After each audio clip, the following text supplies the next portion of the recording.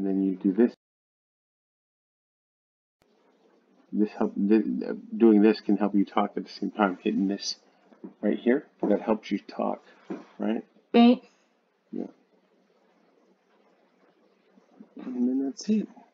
Okay. Pause the video or hit the Windows button